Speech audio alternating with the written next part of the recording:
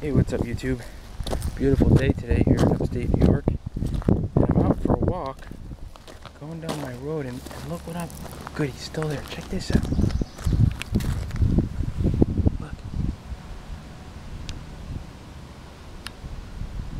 This is a rare New York gorilla. I know most people didn't think gorillas were native to upstate New York. Let's see if I can get close to him.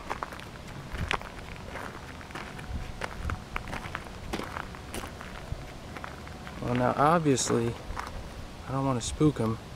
You can see by that little bow tie that he's uh, dressed to go somewhere and I really better not disturb him. But I just thought I'd share that with y'all. Gorillas do live on the east coast. Later YouTube. Someday won't it